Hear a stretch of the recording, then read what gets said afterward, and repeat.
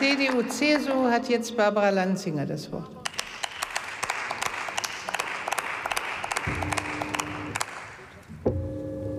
Sehr geehrte Frau Präsidentin, sehr geehrte Kolleginnen und Kollegen, ähm, auch die Anzahl der Kollegen würde ich mir, ich bin ja das nächste Mal nicht mehr dabei, aber wünschen, dass es parlamentarisch auch deutlich sichtbar wird, wie wichtig Tourismuspolitik ist.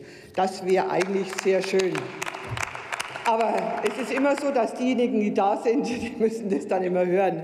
Ich freue mich, dass wir diesen tourismuspolitischen Bericht bekommen haben. Dankeschön. Er ist, ein, er ist spannend, er ist hochinteressant, er ist informativ komplex und er ist eine ausgezeichnete Übersicht über, darüber, dass Tourismus äh, ein Zusammenspiel, eine Vernetzung so unendlich wichtiger, vieler, vielfältiger Akteure ist. Und das, glaube ich, ist äh, vielen in dieser, auch bei uns oftmals in der Politik gar nicht so bewusst. Er zeigt auch deutlich, dass Tourismus ein Zusammenwirken ähm, aller politischen Ebenen und bundespolitischen Ministerien ist. Sie sind aufgeführt und ich möchte mich hier bei all denen, die heute anwesend sind, es sind ja nicht viele, auch ganz herzlich bedanken. Und das zeigt auch, dass man, dass man da auch, auch das nächste Mal vielleicht noch mal stärker das auch herausarbeiten sollte. Ich nenne jetzt nicht alle. Tourismus ist eine Querschnittsaufgabe. Eine Querschnittsaufgabe, ähm, das spürt man ganz deutlich und bereits auf den ersten Seiten des Berichts äh, wird deutlich, was wir als Tourismuspolitiker und Politikerinnen äh, wissen und was wir auch auf vielen Begegnungen ja hören, ähm, auf allen Ebenen, auch mit ausländischen Kolleginnen und Kollegen.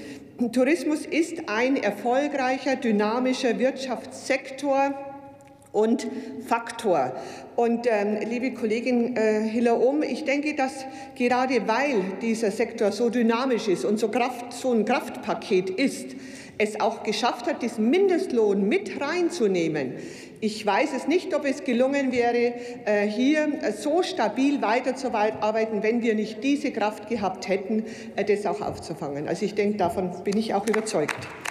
Ähm, dieses Kraftpaket ist für die Bruttowertschöpfung, es ist auch schon genannt worden, für die Beschäftigung enorm wichtig. Es ist der Tourismus hat eine wuchtige, ich nenne es bewusst so, eine wuchtige Schubkraft für unseren Mittelstand. Ähm, für das Handwerk, für die Landwirtschaft, für die regionalen Erzeuger. Für, für, also das ist eine ungeheure Potenz, die wir da haben, die wir auch noch schöpfen müssen und heben müssen. Für die Bauwirtschaft, für die Fahrzeug-, äh, Automobilindustrie, für den Flugzeugbau, für vieles, vieles mehr.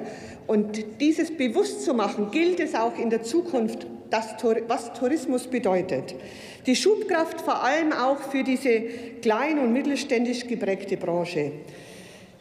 Neuer Rekord wurde schon gesagt 2016 mit den Übernachtungen 11 Millionen mehr Gäste als 2015. Das ist gewaltig in Anbetracht, wenn man die Zahlen insgesamt ansieht. Das alles ist nicht Gott gegeben, das wissen wir.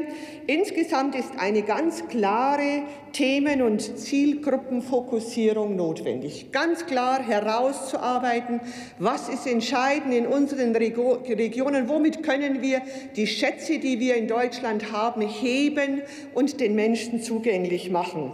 Und ähm, der Boom, ich nenne jetzt nur ein, zwei Beispiele, der Boom im Städtetourismus hält an. Sein klarer Trend ist auch hin zur Wasserdestination in den Küsten- und Seeregionen. Und wenn ich jetzt nur Regensburg anschaue, UNESCO-Weltkulturerbe, seit die Stadt dazu aus, die war schon vorher sehr berühmt und waren vorher schon viele.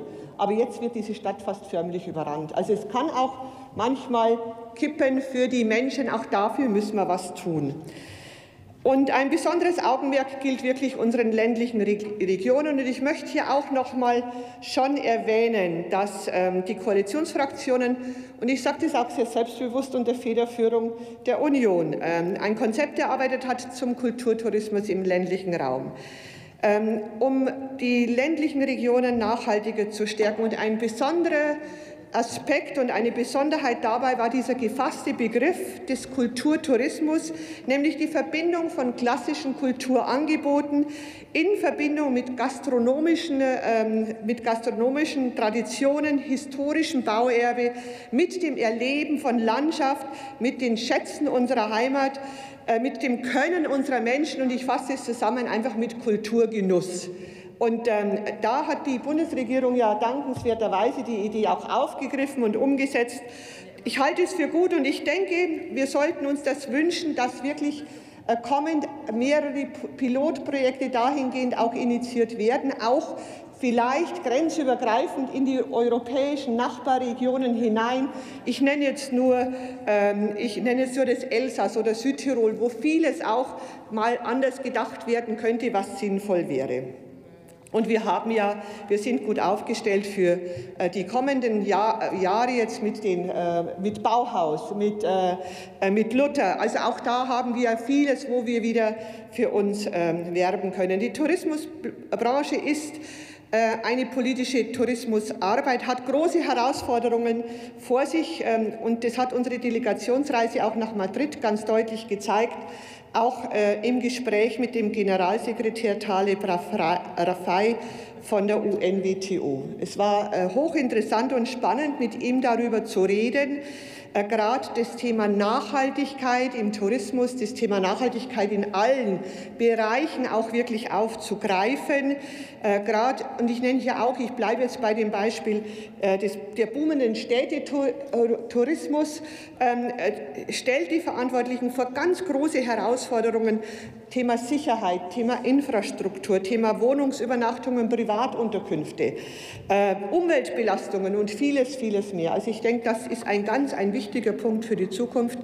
Erwähnen möchte ich auch ganz kurz das Thema barrierefreie Mobilität.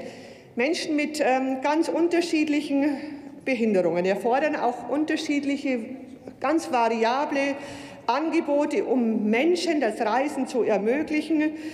Ähm, und eben diese unterschiedlichen individuellen Angebote können auch äußerst interessant und wichtig sein für Familien mit Kindern, für die ältere Bevölkerung, für uns alle. Und ähm, der tourismuspolitische Bericht hat 141 Seiten. Es lohnt sich, ihn zu lesen. Man äh, erfährt das sehr deutlich. Tourismus ist keine Nebensache, sondern Tourismus ist das Top-Thema für die Politik und muss es auch für die Zukunft sein. Ich bedanke mich für die sehr konstruktive Zusammenarbeit mit allen ähm, Fraktionen im Tourismusausschuss. Es macht Spaß, es macht Freude.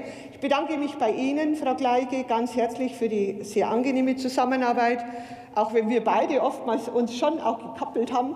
Aber ich fand es ganz, ganz toll und das, glaube ich, macht uns beiden Spaß, Politik so zu gestalten. Vielen herzlichen Dank auch Ihnen und Ihrem Team für Ihre Arbeit. Und ähm, ich danke auch an dieser Stelle ähm, der DZT, äh, unsere Ausschussvorsitzende hat es ja schon erwähnt. Die DZT, und das habe ich auch noch mal in Madrid erfahren dürfen, die DZT ist eine, ähm, tolle, sind tolle Botschaften im Ausland für uns, für Deutschland. Ich möchte schließen mit ähm, zwei, ähm, mit zwei. Aber dann bin ich fertig. Die gefährlichste aller Weltanschauungen ist die Weltanschauung der Leute, welche die Welt nicht angeschaut haben. Und äh, Wilhelm Busch meinte, und das denke ich gilt jetzt dann für uns alle, drum, o oh Mensch, sei weise, pack deine Koffer und verreise. Dankeschön. Wunderbar. Ja, vielen Dank. Das waren die